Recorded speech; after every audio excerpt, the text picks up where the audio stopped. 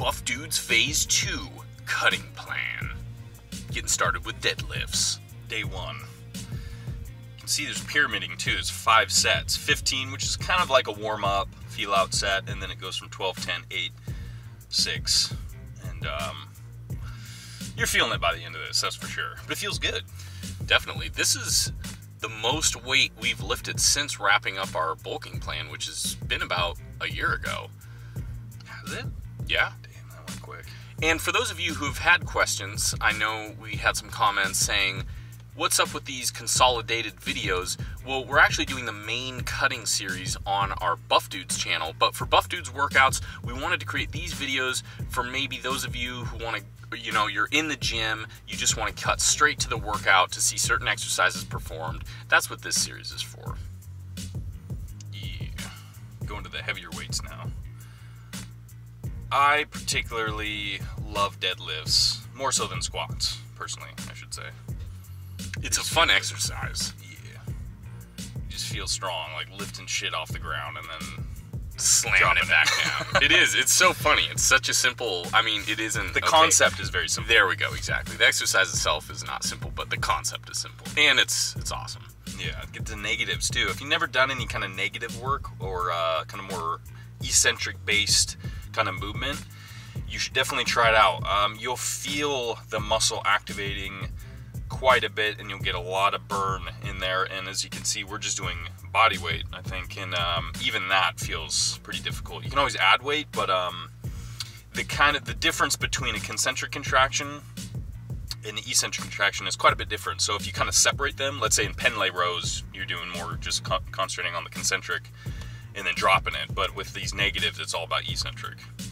And as Brandon was saying, it's much more difficult than you think it could be. And a great thing about the pull-up negatives is someone who's struggling with performing pull-ups can do the negatives.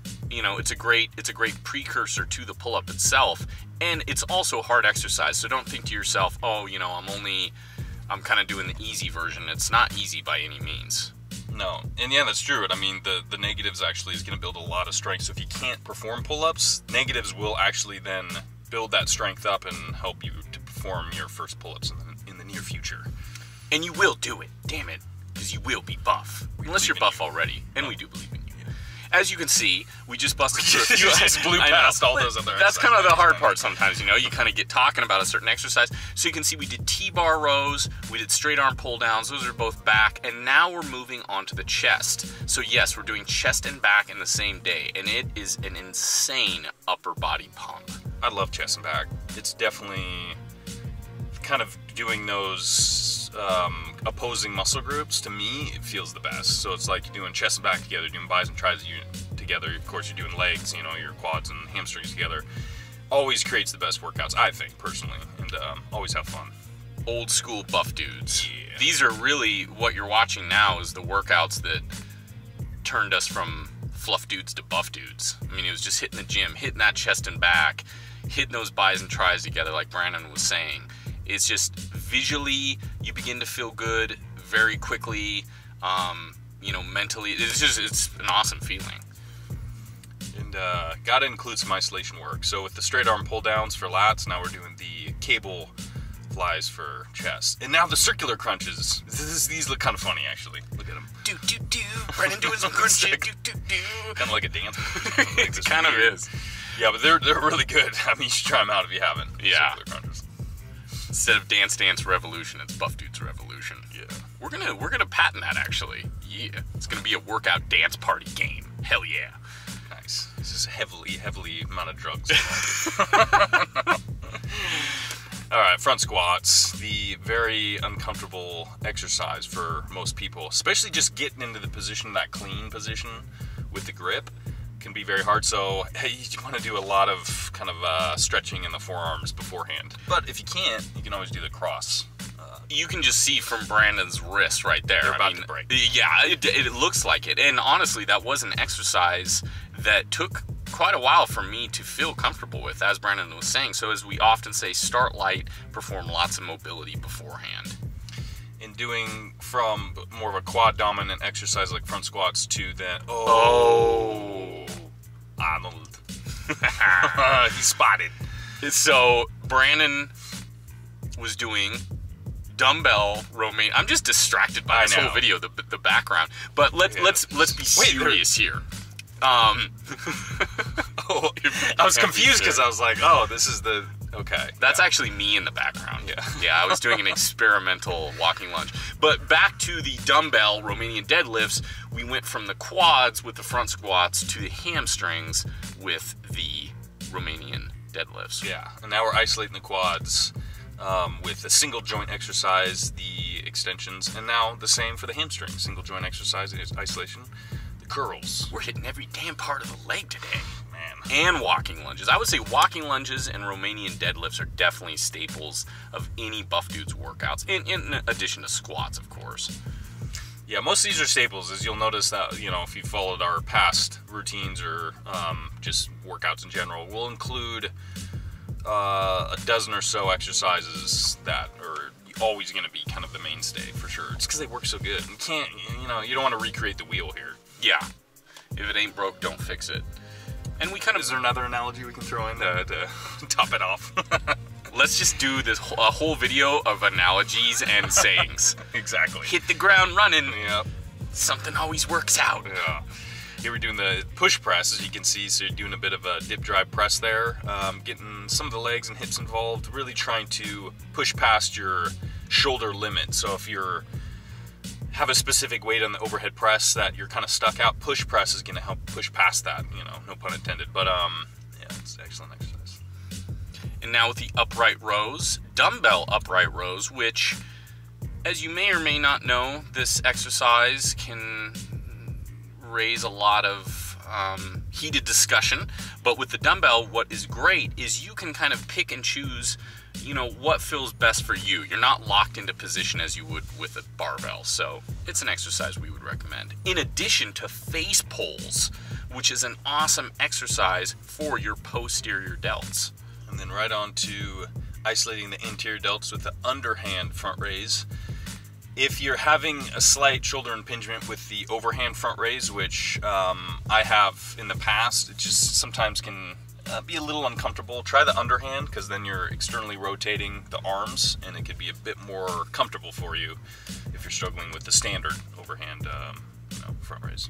So we've hit all three heads of the deltoids. Now we're moving on to the traps with the dumbbell shrugs. This one's pretty simple. You're just going to bring it up in a vertical line, squeeze and hold at the top position, and onto the Otis ups, which is not only a great core exercise, you're also getting a little bit more shoulder activation in there as well.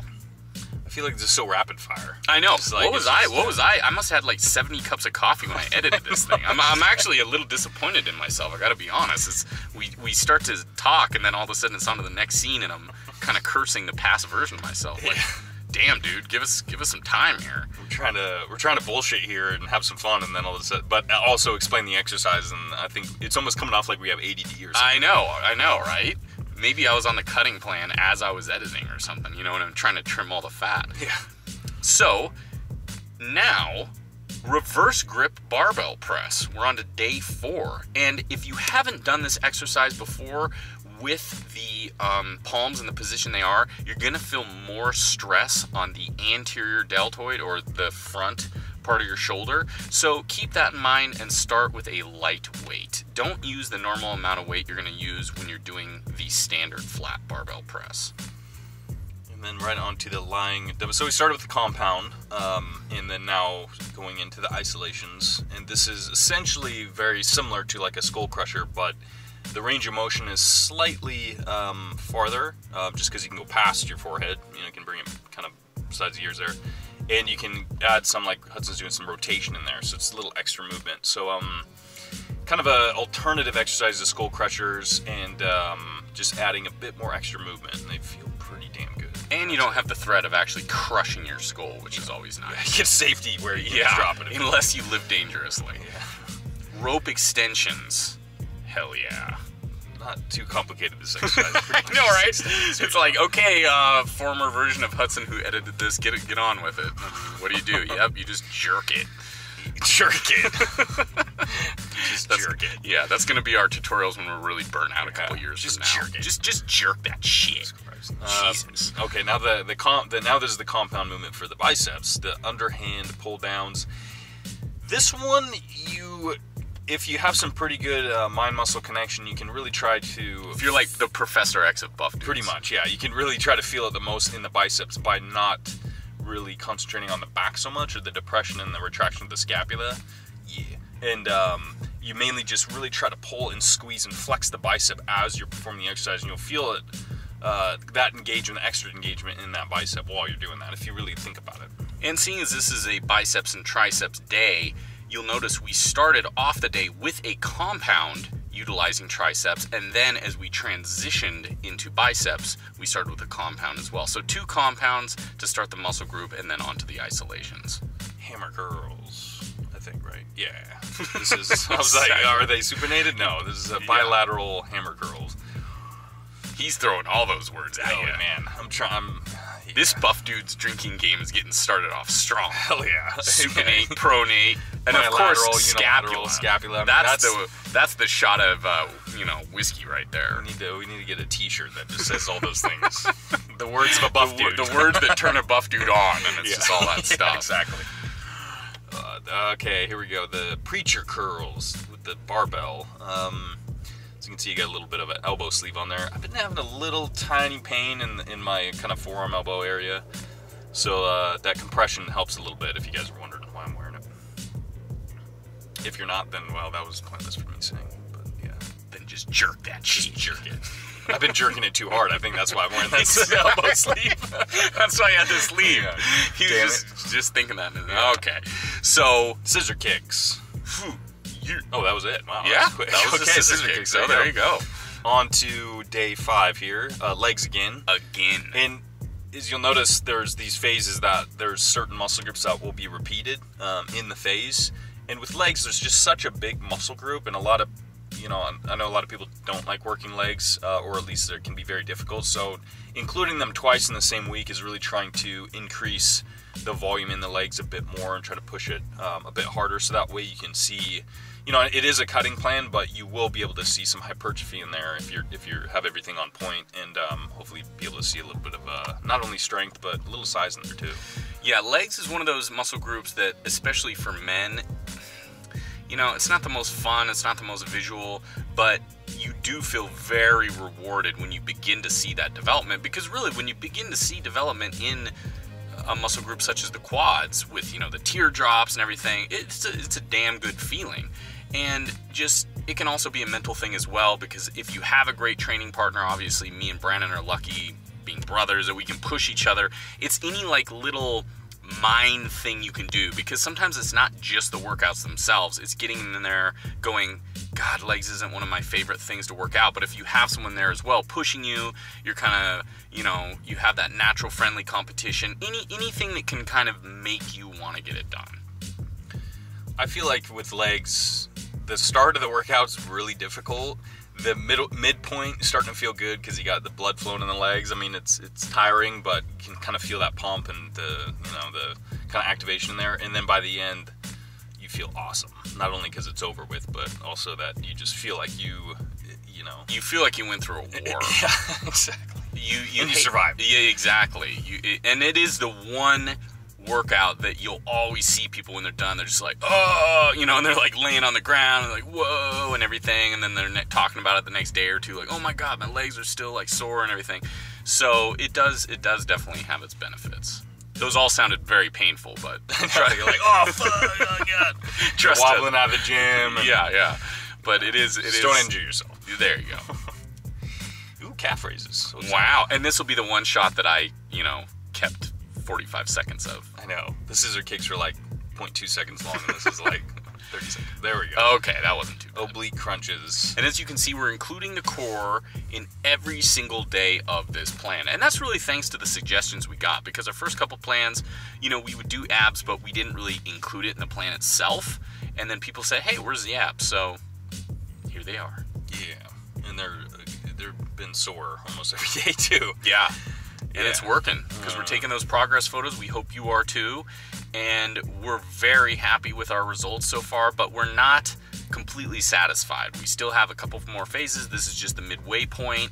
We still got phase three and four, so we need to we need to really begin to bust ass now. I think now with the phase three and four is when you, you really start seeing your results. You know, Yeah. you start feeling it, but also seeing it too in the mirror. And then the last phase is with just the, the fine tuning and, and really just dialing everything in.